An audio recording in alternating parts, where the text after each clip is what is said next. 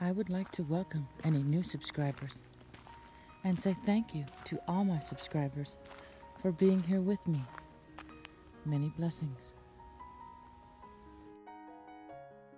Every time you're tempted to react in the same old way, ask yourself do you want to be president of the past or a pioneer of the future?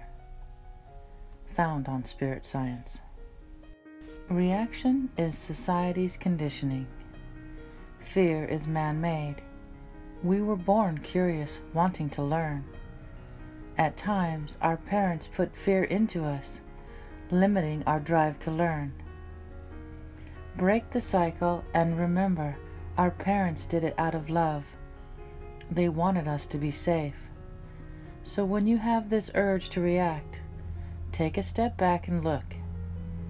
Is this just conditioning and fear? Can we push past it and make our own road? Yes, we can.